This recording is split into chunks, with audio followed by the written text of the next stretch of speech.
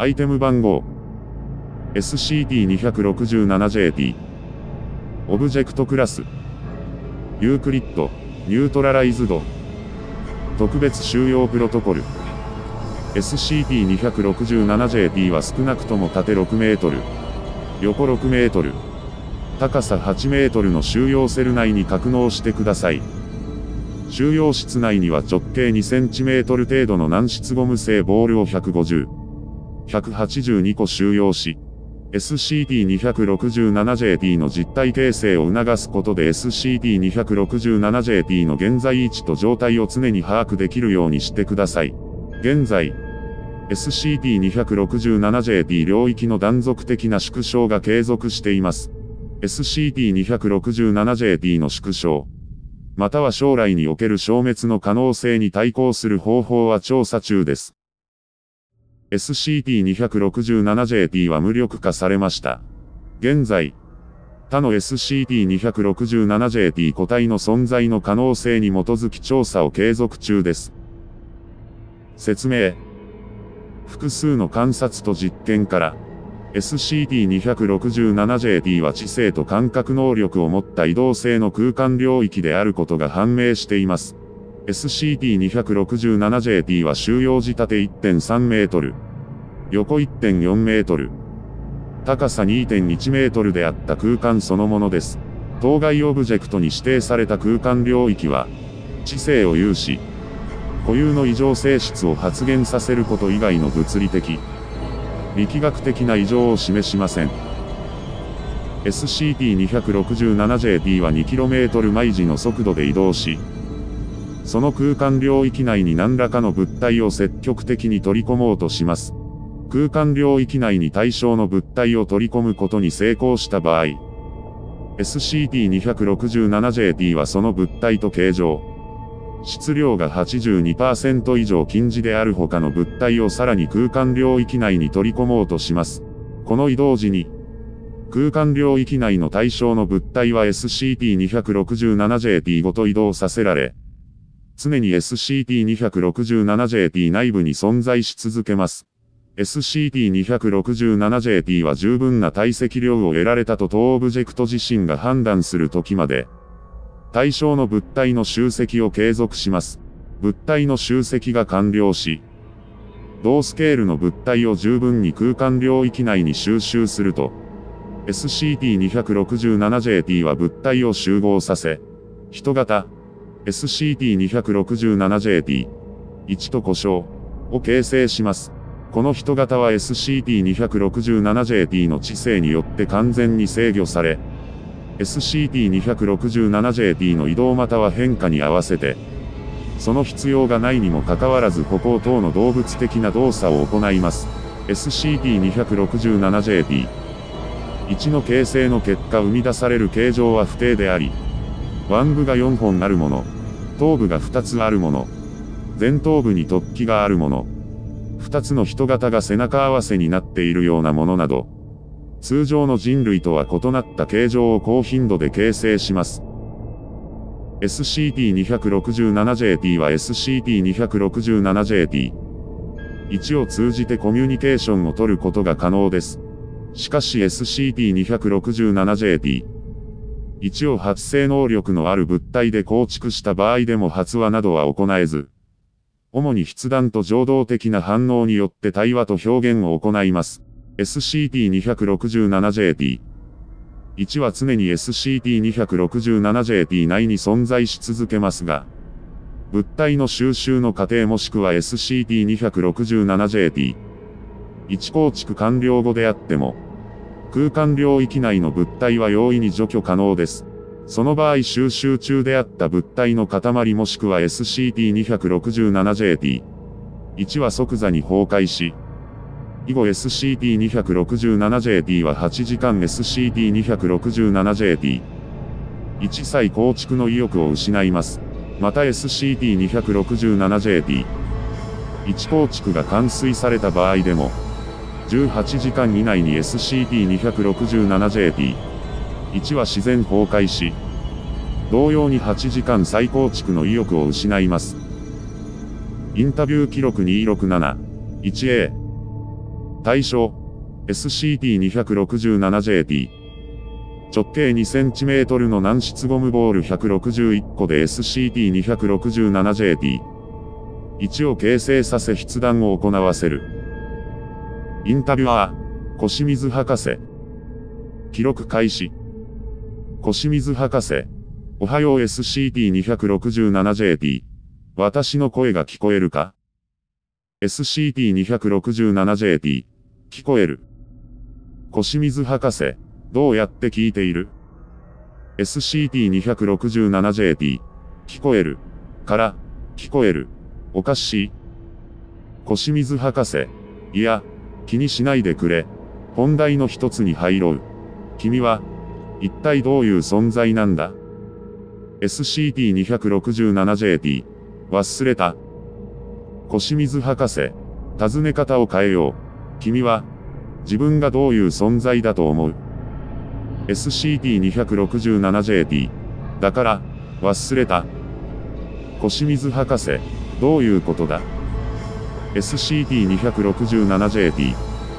1の頭部が小刻みに震え始め、まるでうなだれているかのような形状へと変化。以後3分間筆談を中断させた。小清水博士、次の質問へ行こう。我々の仮説では、君のその姿は君の本体ではない。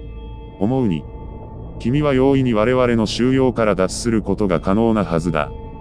非実体空間や概念的存在の外部との断絶による収容技術は、まだ試験段階だ。だというのに、なぜ君は一度も脱走を試みてすらいないのかね。SCP-267JP 意味、ない。小清水博士、逃げ切れないということか ?SCP-267JP、そう、かもしれない。小清水博士、かもしれない、とは、SCP-267JP、死にたく、ない。これ以降 SCP-267JP は20分間小清水博士の質問に答えず、うなだれたままだった。記録終了。終了報告書。有用な情報はほぼ得られなかったが、SCP-267JP が全ての筆記をカタカナで行った点は興味深い。SCP-267JP はカタカナが公的な言語表記であった時代または文化または集団に起源が存在する可能性がある。神山博士による評価。インタビュー終了後 SCP-267JP は17時間にわたって SCP-267JP 一構築の意欲を失いました。インタビューは SCP-267JP の知性に損害を与え、性質の変容を促す恐れがあります。以降のインタビューは、計画性を重視した上で SCP-267JT へのメンタルケアを考慮することが可能な人材と手順によって実行することを進言します。ホイ1、2000年、月、日の SCP-267JT、1形成実験の際、SCP-267JT 空間領域がおよそ8%縮小していることが明らかとなりました。原因究明のため直ちに調査が実行されましたが、あらゆる科学的な観測または仮説に基づく実験は、SCP-267JT 縮小の原因を明らかにはできませんでした。この結果を受けて、SCP-267JT に対する緊急的かつ特例的なインタビューが実行されました。対象、SCP-267JT。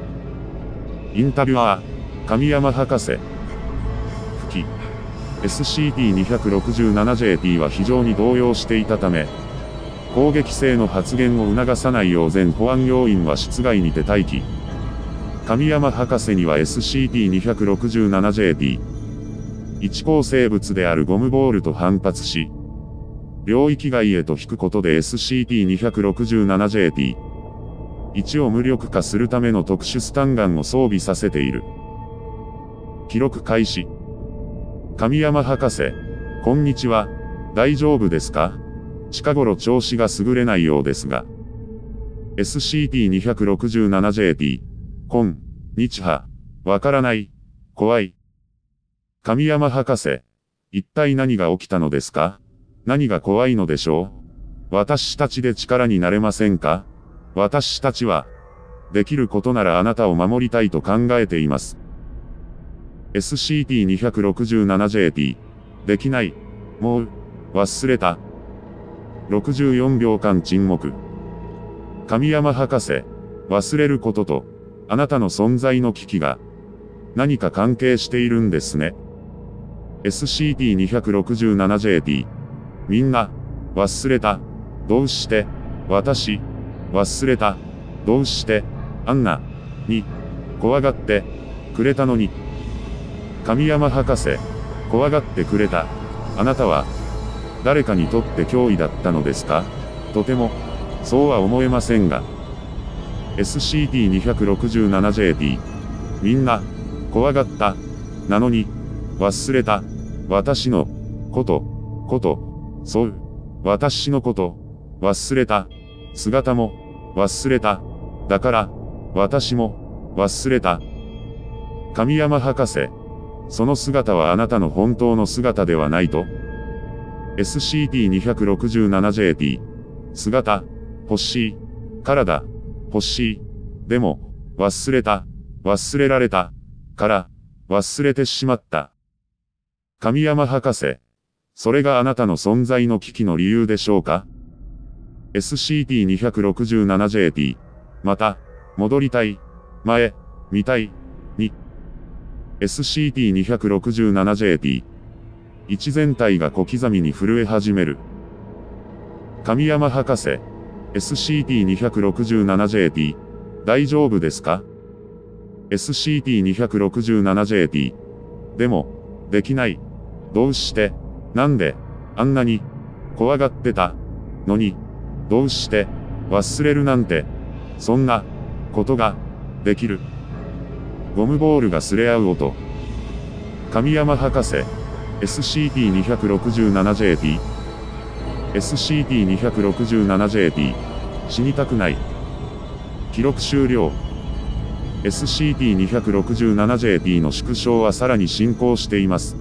それに伴い SCP-267JP。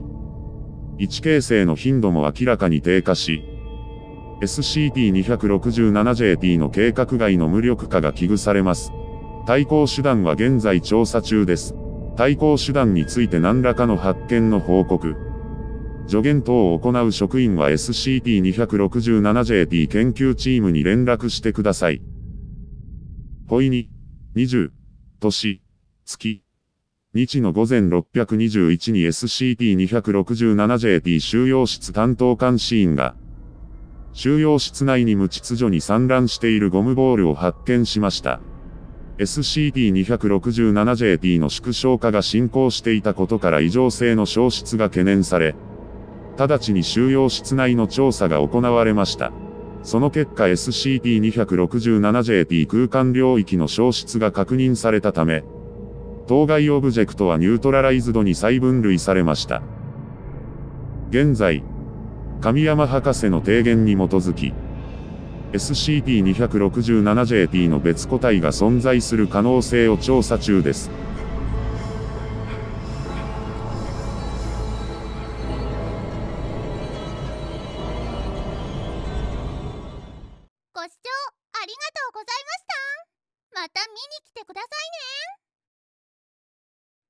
チャンネル登録またはお気に入り登録をお願いしますですん。